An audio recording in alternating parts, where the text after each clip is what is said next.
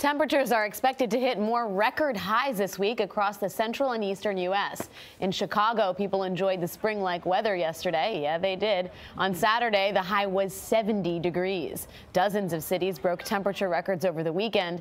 Dean Reynolds is in Chicago, where the high is expected to be 63 today. Dean, good morning. Good morning. Well, it's been so warm here over the last couple of days that some of Chicago's winter destinations, like this ice skating rink here, have had to close. Chicago's lakefront shoreline looked more like Miami Beach over the weekend. We thought we were going to need lots of heavy coats, and it's just gorgeous. We're enjoying it. Three straight days of record highs had people trading their winter hats and coats for shorts and t-shirts. Nothing I would ever think I would wear in mid-February in Chicago. Golf courses in neighboring Indiana opened a month early. Puts a little extra pep in your step when, uh, when the sun's out in the winter.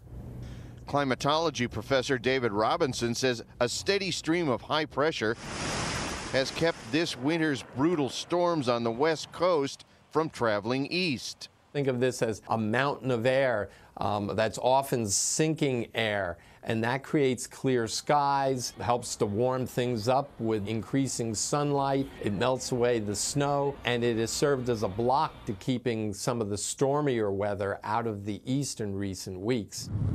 A couple years ago, sub zero wind chills had Midwesterners covering up from head to toe by whatever means necessary. This one is one of my personal favorites, kind of a cross between Nanook of the North and Yosemite Sam.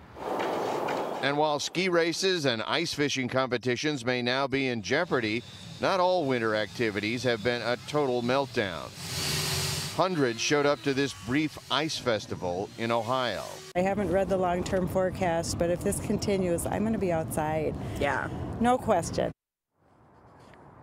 Now, the balmy weather is expected to continue through Wednesday. And for those of you keeping score at home, Chicago has now gone at least two months without one inch of measurable snow. Wow. Gail? In the Wow. winter. Dean, we are keeping score. Thank you very much. Who would think that it would be warmer on the East Coast and the Midwest than it is in California? Advantage New York. That's Yeah. right. We, we like that, Alex.